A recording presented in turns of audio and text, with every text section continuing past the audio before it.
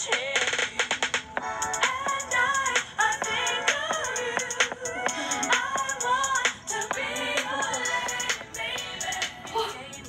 tired. Thanks. Are you exhausted? Yeah. They said I'm anemic, so You're anemic and you didn't tell me? I just forgot. We're gonna go to the doctor right now. Alright. Come in. Hi Jackie, how are you doing today? Good. I'm I'm- really tired. Oh, I'm sorry. I'm Dr. Chen. I'm your doctor for today.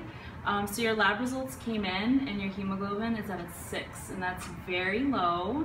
Um, so what we're gonna do is I'm gonna recommend and prescribe a blood transfusion for you. Um, I can't receive blood. It's actually against my religion. So Oh, okay, because blood transfusion is gonna be the best option for you to really help get your hemoglobin up. It'll help you feel better. So there's nothing we can do with the blood transfusion. no. Is there any other option? Okay, so we have another option. We have a drug called Epogen. So Epogen is a biosynthetic form of a natural hormone called erythropoietin, which is secreted by your kidney, which helps, um, sorry, helps promote the synthesis of red blood cells. So that's another option we can do since blood transfusion is not um, an option that we can use for you. Okay. But there are a couple things that you need to know with Epogen. So for one, you do have to have adequate iron stores in your body. So we're gonna have to check for that to make sure that your iron levels are adequate or else Epogen isn't gonna work. Um, another thing is that the use of vitamin C may actually help promote um, the absorption, so we'll do that as well. And then you need to know some of the risks with Epogen.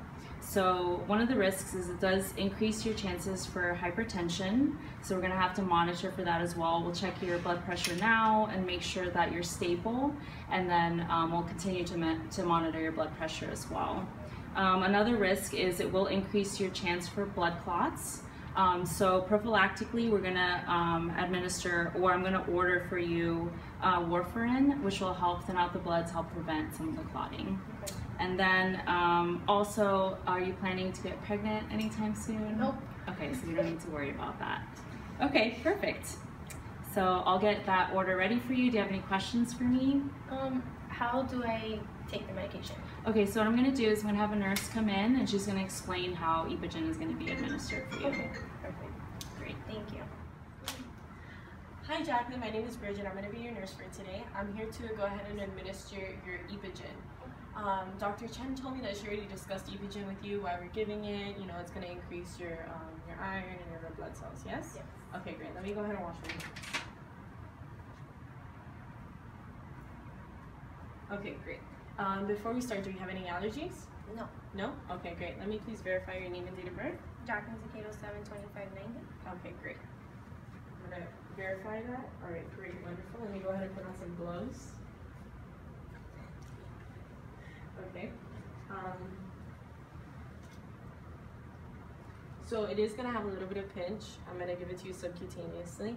Before I give it to you, if you feel anything like hypotension, which is a drop in your blood pressure, any headaches, anything out of the ordinary, fatigue, dizziness, um, maybe some constipation or muscle cramps, please let me know because it could affect your potassium level. So we want to make sure we monitor that and don't let any complications occur. Okay? All right, great. Okay. So first we're gonna go ahead and work on.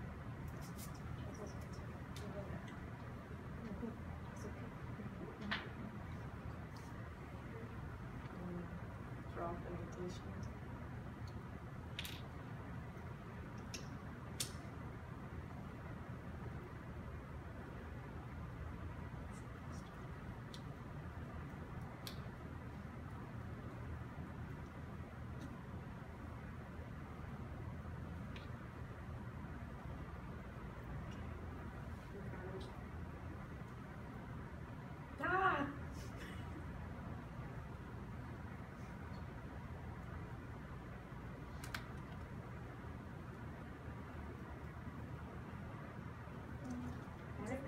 right, Jackie, if you need anything, let me know, okay? If you feel any of those things we discussed, please just call me, all right? Here's your call light.